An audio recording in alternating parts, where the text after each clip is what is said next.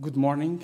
Um, it's my first presentation uh, in English, um, and uh, let's do it.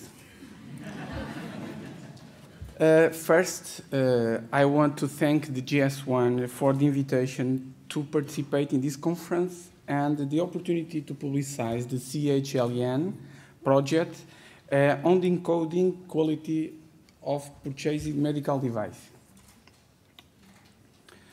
Uh, my presentation is divided into five uh, topics framework, description of logistics, project methodology, conclusions, and next uh, step, steps.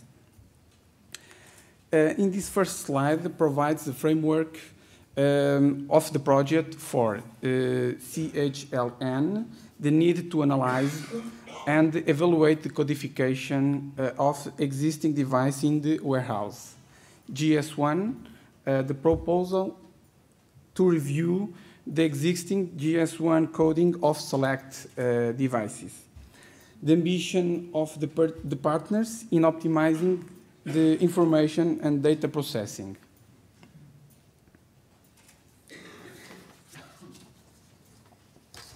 The center set medium and long terms, which highlight the option of the global language in order to reduce costs, stocks, time, uh, uh and the haste, um, and to increase the traceability of device, greater synchronization of the supply uh, chain. Short-term goals. Uh, analyze the use GS1 standards in the labeling of medical devices, is as uh, the relevance of the GS1 coding uh, recommended to our suppliers.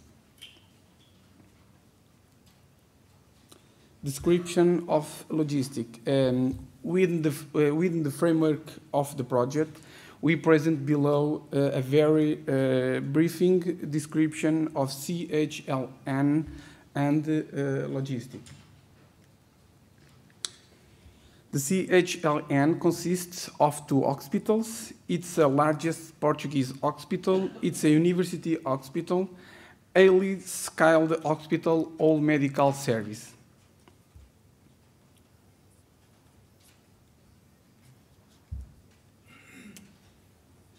This slide presents same indi indicators of the hospital 2014 uh, under 30,000 surgeries, uh, owner uh, 700,000 consultations, um, 1,183 beds, uh, 43,130 on outpatients, uh, 6,312 employees, and um, 400 million uh, budget year. These numbers show the size of this center.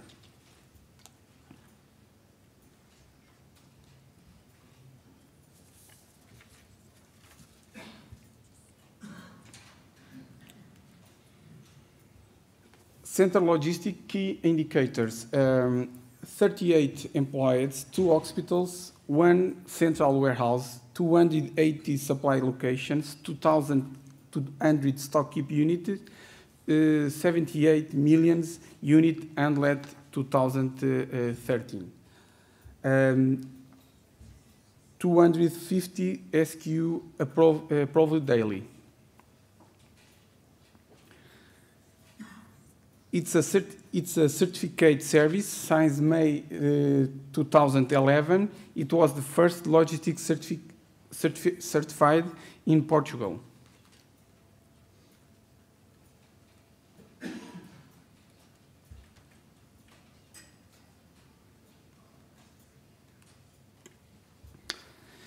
This slide, this slide is a shows, this shows the logistic path made today.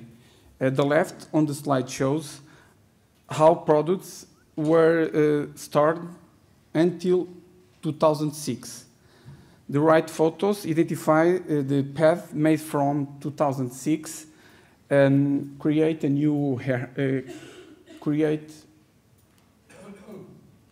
create a new warehouse new distribution channel, introduction hardware and software, and uh, create a new replacement method.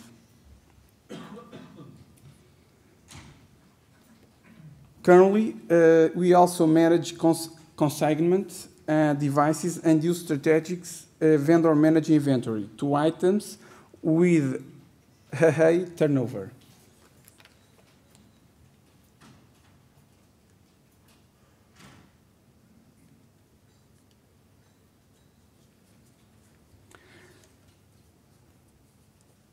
Since, uh, since 2006, the hospital has taken a logic of consultation. The service that consume uh, reading barcodes, there, uh, the warehouse receives uh, the information and then does the picking of materials and then delivers the goods to destination service.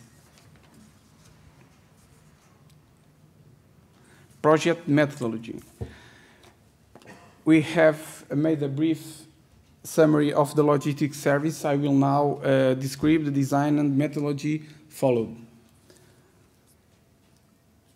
The project, uh, the project was divided into five phases. Phase number one, information checking. Phase number two, analysis and data, data processing. Phase number three, presentation and result, results validation. At phase number four, approach to suppliers, and phase number five, implementation of recommendation.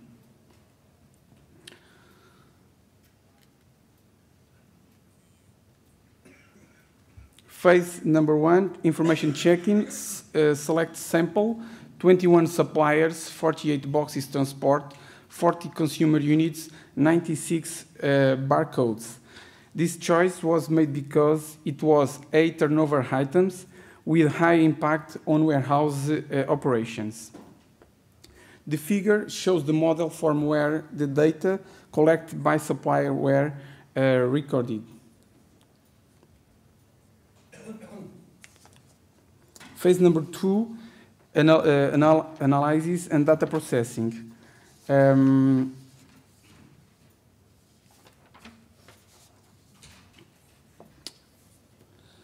the data uh, were structured by categorizing errors encoded in coding through you a simple, a simple symbology. Um, green, green symbol coding with, without errors, symbol, yellow symbol uh, coding with uh, mirror errors, and uh, red symbol coding with errors.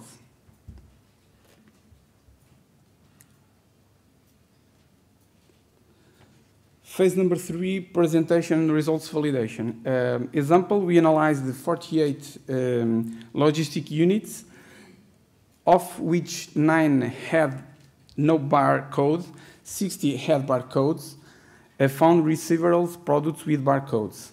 A total of 96 anal analyzed barcodes. Barcodes, sorry.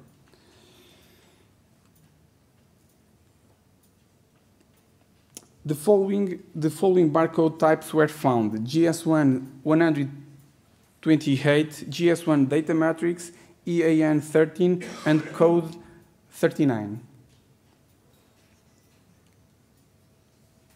Main results, 70, 72%, per, 72 of the analyzed units are coded, 81% of products uh, are coding GS1, and 20 percent of analyzed codes were correct. Phase number four and number five. Phase four and five included the approach made to suppliers, uh, mainly through the design explanation and the presentation of results. As you can see there are large companies use coding as not according to GS1 standards. Example, 3M and uh, Johnson & Johnson, uh, Mölnlycke, Medtronic, uh, same example, not use the, the, the according to GS1 standards. At the, at the same time, some recommendations were made and support was provided for the correction of errors detected.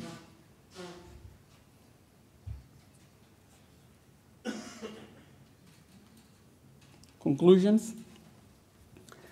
The sample demonstrated that 81% of the analyzed barcodes were GS1, so it was understood which shouldn't recommended GS1 coding or suppliers.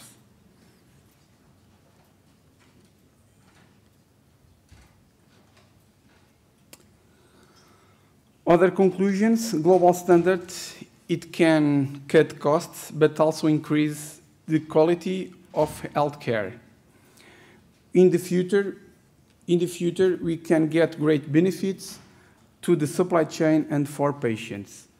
Um, uh, benefit supply chain, reduction of inventory levels, reduction of obsolete stocks, example, benefits to user, to, to user, traceability, more traceability, more safety, recall process easier, combat counterfeiting, um, and reduction of medical, medical um, errors.